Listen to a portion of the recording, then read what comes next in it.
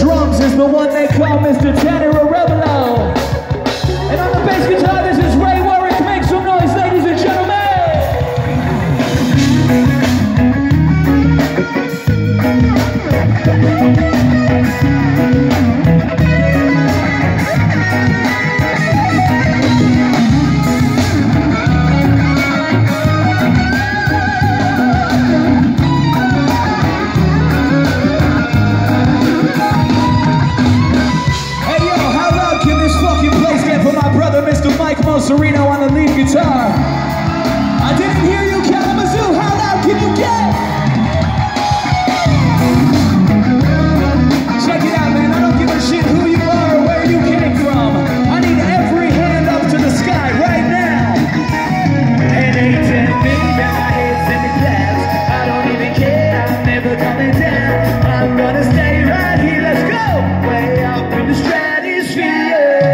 sideways.